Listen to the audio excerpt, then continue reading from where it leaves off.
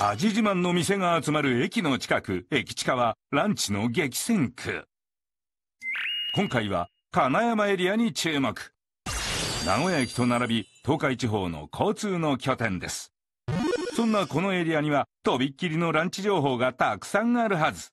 ということで、聞き込みをしていくと、出てきましたよ。耳寄り情報がザックザクと。すっごい肉肉しくってアメリカのハンバーガーザって感じのハンバーガーです。ザ・アメリカのハンバーガー名古屋の超人気店を大調査。創業から37年地元で愛されるパスタ店も登場。名物和風タラカルボって一体？太そうに見えるんですけど、もうペロッとあっさりいけますね。サラダとパンがつくのがボリュームあって開店前から行列ができるこの店には、本場北海道顔負けのやりすぎスープカレーが。野菜もりもり、衝撃のスープカレーとは？思ったよりも多いので、食べきれるか心配です。知られざるランチの名店を発掘。名古屋の駅近昼ご飯、あっと金山。まずは、駅の周辺で聞き込み。すると、早速耳寄り情報をゲット。カッカスタ。美味しかったよ。美味しかったですか？好みで選べるから。駅の南口から歩いておよそ3分のところにあるアンフォーラ。創業から37年。レトロな雰囲気が可愛い愛されパスタの名店です。ユニークなメニューが揃い、トッピングも充実。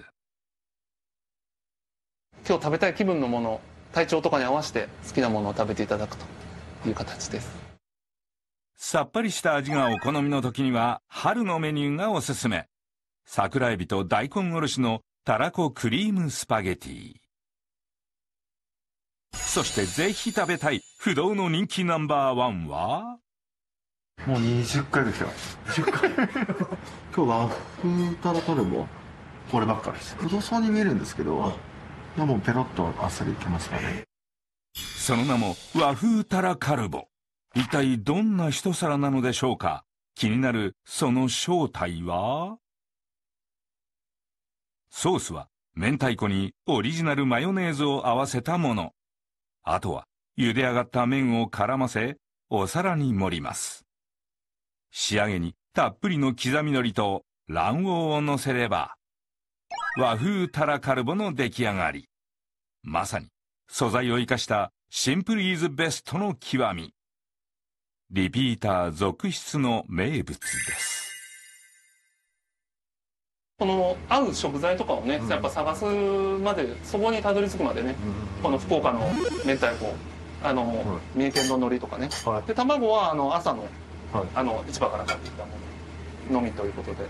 なかなかこう色これを足してあれを足してでを繰り返して。平日は昼でも夜でもパスタを注文すればサラダとトーストが無料サービス。すごいボリュームたっぷりなんで食べ応えがあって男性でもお腹いっぱいになるかなって。まだまだ続きますよ。金山で聞き込み一押しの昼ご飯は？ハンバーガー屋さんってこのこの前行きました。なんか結構本格的なボリューミーなあそうですか。感じハンバーグで。めっちゃ並んでました。あそうですか、はい、スタッフが向かった先はザ・ディスコ。名古屋を代表するハンバーガーの超人気店です。店内はアメリカンな雰囲気。肉好きが集まる店と評判看板メニューはその名もザ・ディスコ。豪快かつゴージャス。味の決め手はもちろんパティ。何回も来てますすっごい肉肉しくってアメリカのハンバーガーザって感じのハンバーガーです女性客も大小判こだわりのパティ美味しさの秘密は？飛騨牛の油ですね牛脂を混ぜてそこにごく少量のひだ豚をあの独自の配合で混ぜております。オージービーフをベースに飛騨牛の牛脂と飛騨豚を合わせることで肉汁あふれるパーティが完成。それをバンズでサンド。ボリューミーな見た目ですが。分厚い割には食べやすくてめっちゃ良かった。お得なランチメニューは20種類ほど。一番人気はグリルドオニオンベーコンチーズバーガー。香ばしく焼き上げたバンズに濃厚なチェダーチーズとベーコンが自慢のパティに迫ります。子供から大人までみんな夢中。アボカドチーズバーガーは女性に人気。びっしり敷き詰められたアボカドとバーベキューソースが二重丸。そしてもちろん。お待たせいたしました。ありがとうございます。全メニューテイクアウトも OK ちょっと気にしてるので、うん、結構テイクアウトがやっぱ多いです。こだわり満載。写真映えするゴージャスなハンバーガー。ぜひ一度お試しを。さあまだまだ続きますよ。ここでとっておきの耳寄り情報をゲット石場石場石場スープカレー屋さん。スープカレー屋さん？カレー屋さん。ここの辺に近いんですか？なんかちょっと向こうの方ちょっと近い。ということでスープカレー専門店の石場へ。するとオープン前なのに行列がこれは期待感が高まります。おすすめはチキンスープカレー野菜増し。その衝撃の全貌は後ほどベースとなるスープはチキンと野菜の旨味がたっぷり。これに14種類のスパイスを足し算しました。スパイシーな中にもコク深い優しい味わい。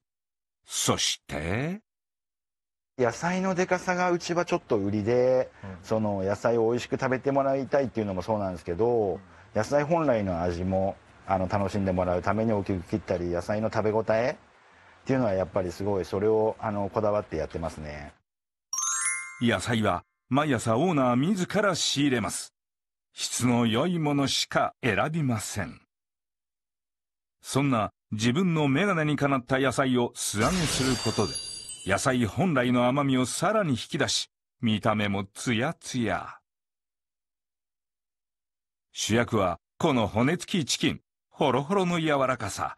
その上に野菜を盛り付けてスープを注げばチキンスープカレーの野菜増しもはや骨付きチキンが見えません彩り鮮やか素揚げ野菜13種類がもりもりチキンと野菜の旨味が融合した完成された一杯です揚げてあるから、スープに使ってしっとりしてるとこと、サクッとしてるとこが2つあってなんか、それがいいなって思いました。人参食べないのに、ここのが全部美味しくて、甘くて。東京行った時に北海道行った時に食べた。ここが一番うまい。スープの旨味をまとった素揚げ野菜の味に皆さん大満足のご様子ところでオーナースープカレー専門店を始めようとしたきっかけは？本場のスープカレーを名古屋で楽しめるっていうお店がコンセプトですよね北海道で食べた味に感動したオーナーが本場の味を名古屋でもと開いたのがこのお店。辛さは1から7それ以上も選べます。そしてスープカレーと一緒に注文したい名脇役が。雑穀米に、えっと、レモンで、えっと、ガーリックチップをかけてそれ食べたら他のちょっとライスは食べなくなってしまって、まあ、スープカレーと一緒に食べてもらっても美味しいんですけど、まあ、それだけでもあの食べれちゃうっていうのもありますしどんだけでもご飯がもう永遠に食べれますね。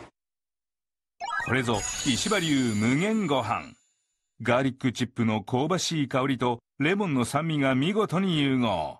もちろんスープカレーにも。このド迫力のスープカレーでほっと一息幸せなひとときを。